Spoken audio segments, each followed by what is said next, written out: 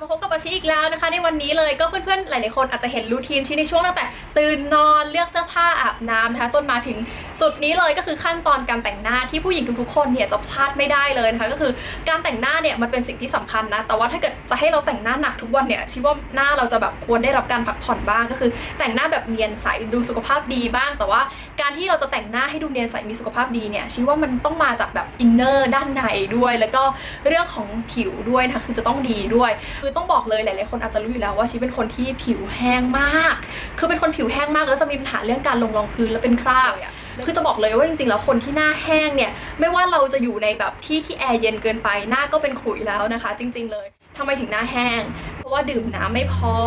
ทำงานหนักเกินไปหรือว่าทานอาหารไม่ครบห้าหมู่ขาดวิตามินอะไรเงี้ยก็เป็นไปได้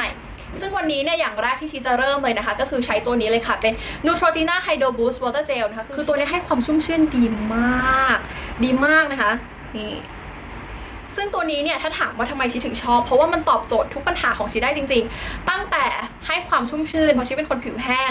มาจนถึงแบบ แต่งหน้าติดแล้วก็หน้ารู้สึกอิ่มน้ำมากๆ อย่างชีเนี่ยคือแต่ก่อนเนี่ยเข้าใจผิดมาตลอดว่าหน้าแห้งแล้วต้องทาอะไรที่มันมันๆมันไม่จำเป็นว่าต้องทามันๆถึงจะหน้าหายแห้ง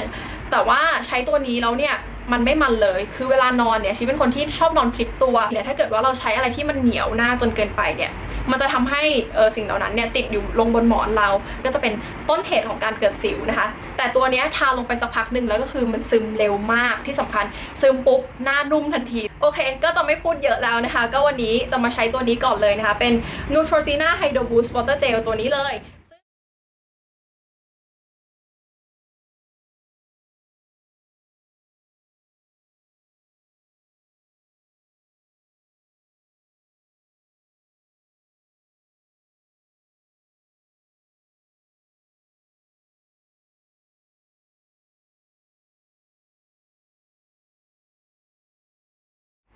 ห็นไหมคะหน้าแบบเรียนใสโดยที่เราไม่ต้องลงรองพื้นกันเลยนะคะ ก็ต่อมาเนี่ยชีจะใช้แป้งฝุ่นเลยนะคะสำหรับวันสบายๆแบบนี้